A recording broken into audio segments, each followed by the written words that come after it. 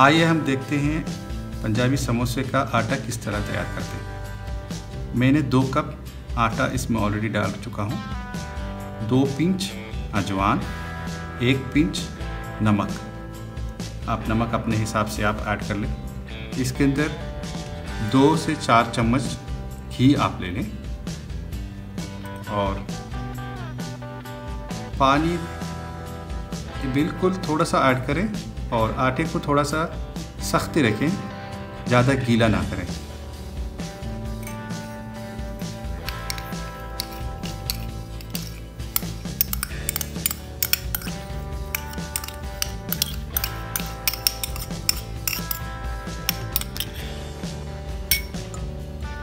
आटा को घी के साथ अच्छे से मिक्स कर ले।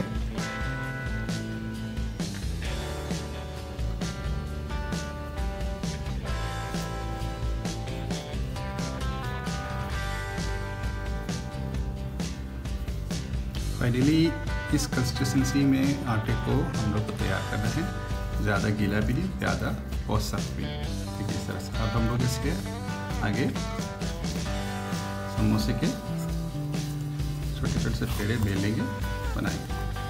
आप इतना पेड़े हथेली में इसमें दो समोसे हो जाएँगे।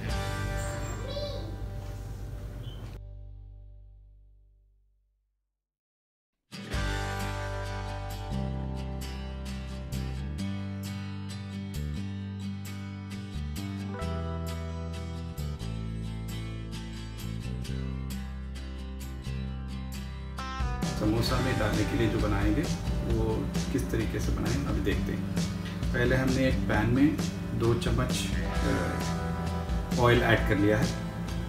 अभी मैं थोड़ा सा ज़ीरा ऐड करता हूँ।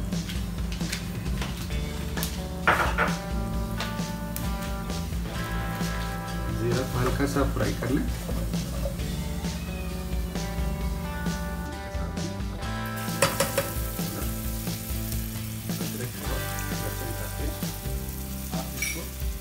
के लिए इस्तेमाल कर सकते हैं। फ्लेवर आने